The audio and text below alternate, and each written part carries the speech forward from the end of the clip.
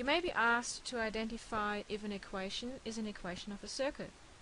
And then you're also asked to find the center and the radius of the circle. So let's have a look at an example. In this case we've got x squared plus y squared plus 2x minus 2y is equal to 2. And if this was the equation of a circle, then we should be able to write it like this. x minus a squared plus y minus b squared is equal to r squared. Now in this case then a, b would be the center of the circle and r would be the radius. So the idea is to write what we have here in that form. Now how do we do that? That's where completing the square comes in. So if we wanted to write this like that, first of all, let's rearrange a bit and let's put everything that relates to x together and everything that relates to y. So let's write x squared plus 2x and then plus y squared minus 2y is equal to 2. So I've just rearranged this a little bit. Now the x squared plus 2x I can do something with. I can write this as x squared plus 2 times x times 1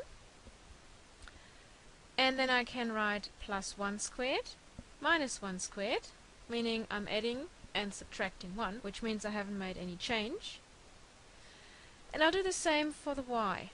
So I write this as y squared minus 2 times y times 1 plus 1 squared minus 1 squared. So I'm adding and subtracting the same number meaning I'm not changing anything. And that's equal to 2 now what do I get if I write this in a different way?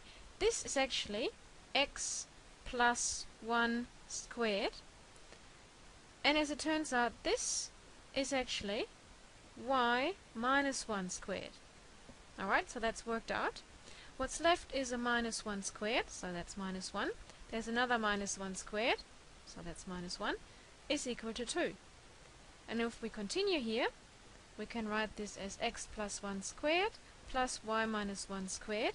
Minus 2 is equal to 2, or bring across the minus 2, meaning we're adding 2 on both sides, and that's equal to 4. And 4 is of course 2 squared. So now we have our equation in the form that we wanted it to be in.